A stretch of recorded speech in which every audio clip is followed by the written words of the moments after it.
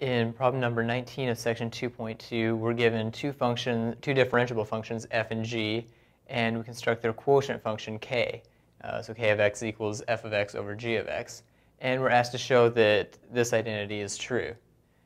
So we start out just by computing the derivative of k of x using the quotient rule.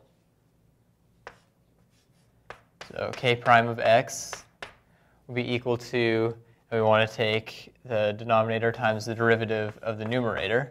So g of x times f prime of x minus the numerator times the derivative of the denominator. So f of x times g prime of x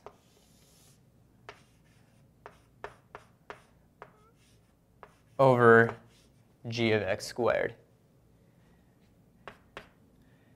Now, the next step, um, see we can factor out, or let's split this up into two terms here. So we see that we have f prime of x over g of x uh, squared, or, well, f of x, f prime of x, g of x uh, minus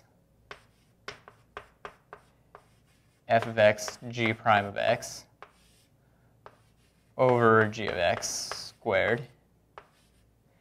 Now we can cancel out g of x in the first term here.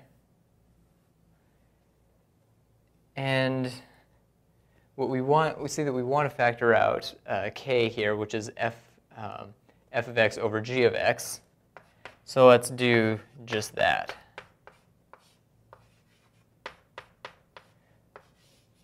So if we factor out f of x over g of x, well, there's no problem in the denominator. We can definitely pull out g of x from the first part. We can't exactly do that with um, f prime or with the f of x. But if we add it to the denominator, we see that these just cancel out and that this, in fact, is the first term.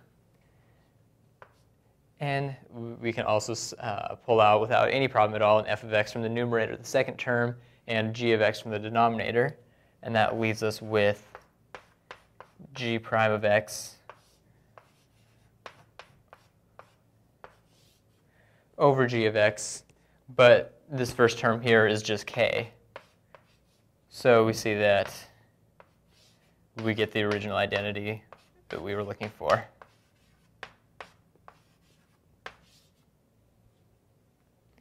And that's the end of problem number